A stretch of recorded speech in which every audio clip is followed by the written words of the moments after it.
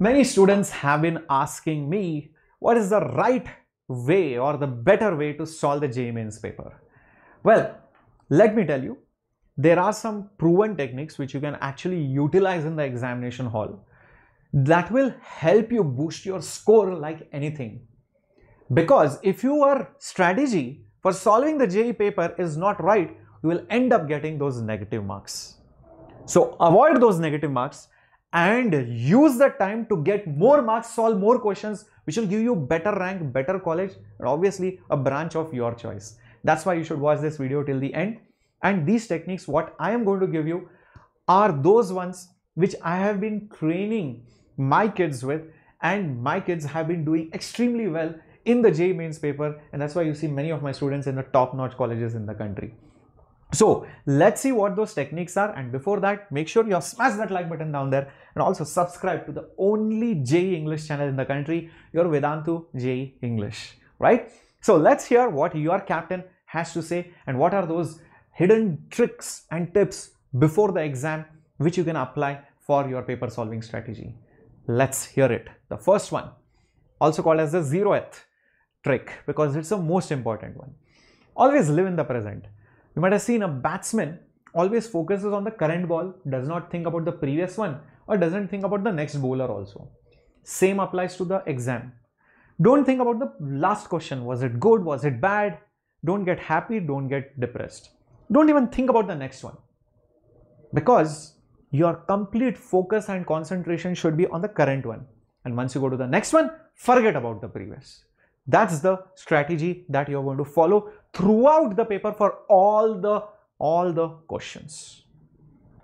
Now, I'm going to show you a very interesting graph which you never have seen before. The orange line is the power to solve a question versus time. And the pink line is basically your silly mistakes which you do in the exam versus time. Initially when you enter the hall and you start the paper, you're just warming up and you are hesitating and you have some nervousness. So that's the reason why your brain is not functioning fully but decently enough and you might make some silly mistakes. As you get used to the environment, your ability to solve the questions increases and your chances of making mistakes decreases. And as you go towards the end, your brain is getting tired, you are getting nervous, that's why your ability decreases. But chances of making mistakes starts increasing drastically because you might make a mistake in that haste. So, how to use this graph? Whenever you are deciding to solve a difficult question or a difficult subject, keep it in the middle, somewhere over here. Not towards the end, because you can see you can get a lot of negative marks and you can keep it in the middle also, but there is a good chance you might perform the best if you keep it somewhere over here. You can choose a medium subject over here or a medium question over here usually and you can keep the easy ones over here also. But there is a risk of keeping easy ones towards the end. If you do not get enough time, then you might lose out marks on all those easy ones. So it is safe to keep the easy questions towards the beginning. Always make sure your first two to three questions are the easiest ones or confidence booster ones. That means you should never lose confidence in the first three questions because then you will be scared for the rest of the exam. You can always find such questions. So take a minute or two to find those questions. It's not important that you solve the questions in the sequential order. No matter how many mock tests you give, no matter how many instruction sheets you have read before, always read the sheets or the instruction which is given on the screen before the exam in the examination hall, right?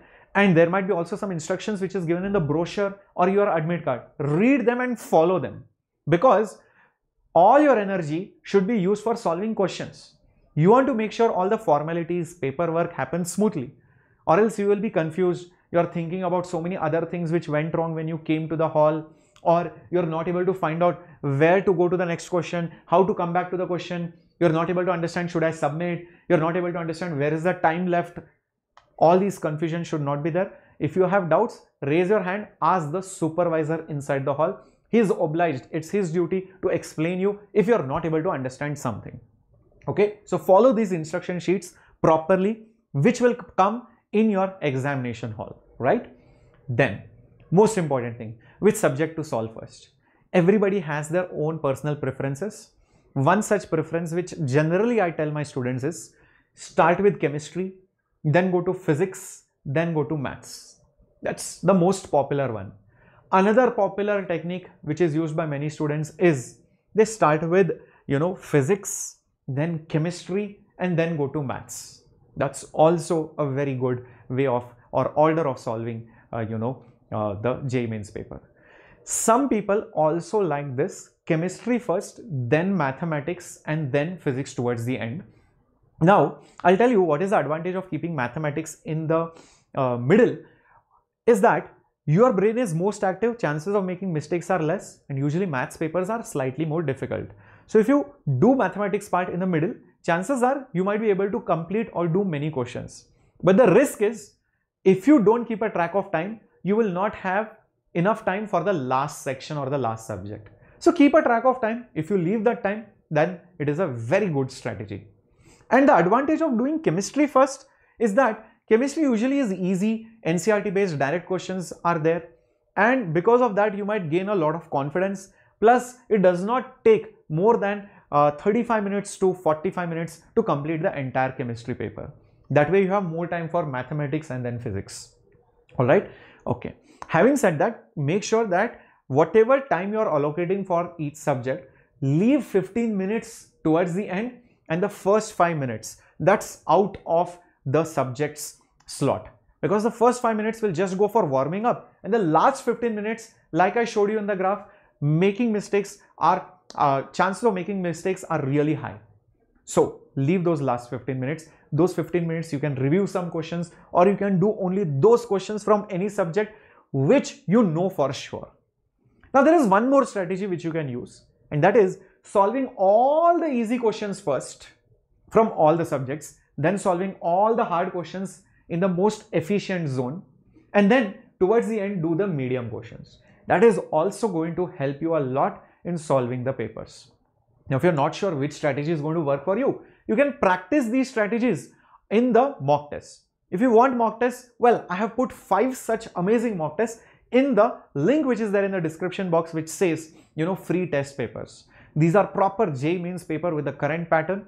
Solve these papers. They are absolutely free of cost. Click on the link enter your login details and you will see that uh, papers are available for zero rupees.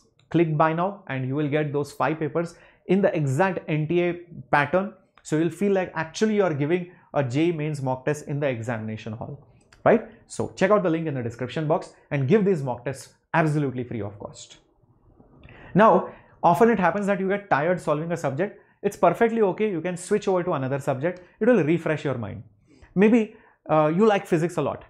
So you are solving chemistry and you are getting bored. It's okay. You can come to physics, solve few questions, gain some confidence, come back. Maybe maths is your strong point. You can do the same with maths also. So switch over between subjects the moment you feel that you are getting tired or you need a change or you feel that the paper is only difficult, I need to switch on. You can always come back to the subject which you are left. Very important is always try to see the options. Many students just read the question, don't see the options and try solving it. Sometimes it might happen that you don't even have to calculate completely. Looking at the options only, you know the value must lie between this and this. You can eliminate some options. Sometimes the dimensions only are wrong and you can choose the options properly always look at the options and very important read the question carefully see if it says not correct incorrect are not true or false these words are going to cause a lot of marks if you don't read them properly. And always use some really cool methods for eliminating not just you know dimensional analysis and value based things. Sometimes you might see that substituting some values might yield some very very large or very very small you know number which is completely unrealistic. That way you know if the value is this then the problem doesn't make sense. So that way you can eliminate some options. Okay? So having said that make sure that your rough work is very very clear and legible. I'm not saying neat like boards. You don't have to sit and underline your rough work. But make sure if you're solving a question, it is not overflowing on the next question because chances of silly mistakes are highest because of bad rough work. And you are mixing and you know writing everything at the same place. Also the advantage of a neat rough work is that let's say you're not able to solve a question. Now you leave that question you go to the next one. And after some time you decide to come back. Now you don't know where you had solved it. It would have happened with you. So make sure that at least you know where you solve all the questions or you're solving it one below the other. That way you can easily find where you had solved it and start from where you left. That way will save a lot of time or else you have to redo the entire thing again, right? Now another proven technique for solving questions in JEE paper is that let's say you are stuck in a question. Now obviously it will happen more than one time. Then what you do, don't waste more time. Immediately decide to go to the next question or the next subject solve, solve, solve, keep solving. Suddenly you will realize something. Oh my God, this is the formula that I should have used in that problem. You will immediately realize your mistake or realize some formula. Come back to that question. Come back to that question, solve it and then go ahead. And repeat this process wherever you get stuck. So whenever you get stuck, it's okay to leave and come back after some time when suddenly you remember something. Okay, it will help you at least with two to three questions. Keep this in mind. Next important thing is, you know, your rule number eight, give many mock tests and that too in the same time cycle. If you know that, you know, your test timings are from this to this, make sure at least few days before you start giving mock tests exactly at the same time. And if you do not know when your slot is going to be, it's okay. You can give the exam at both the timings because you don't know which your slot will be. So your mind will be active in both the slots. Because if you have the habit of sleeping or lazing around or playing, then your mind will tell you at that exact same time, hey, let's chill. Your concentration power will go down, chances of making mistakes will go up. So your biological clock will be, should be tuned. And when you are giving the exam, also train your body physically to not frequently drink water or go to the toilet or you know unnecessary wastage of time. So make sure that your mental clock and your uh, physical biological clock are tuned with the exam timings. The next important thing is you have to analyze your mistakes.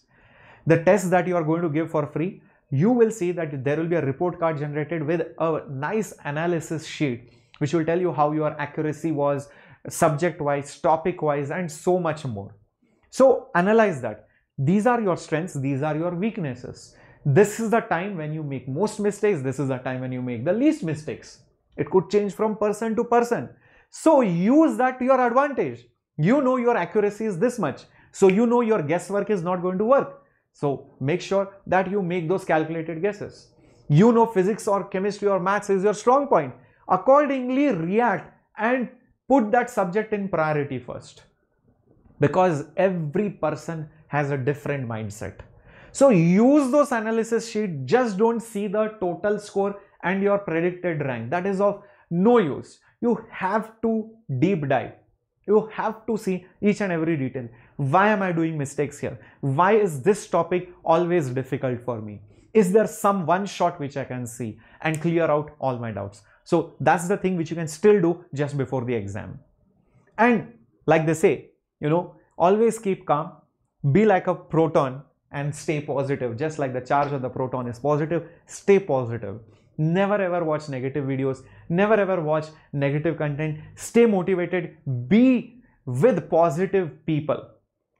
Inculcate those positive feelings. When you are vibing properly, you will see automatically you will do well in the exam use all these tricks and all these strategies in the exam hall and come out and tell me how it worked for you. In fact, apply it in the mock test only and tell me how it worked for you. You will see a drastic change in your performance. All right. So God bless you all. Take care, my dear warriors. And do not forget to share this video and like this video. Share it with all your friends and your classmates. Bye bye. Hasta Captain Shreyas signing off.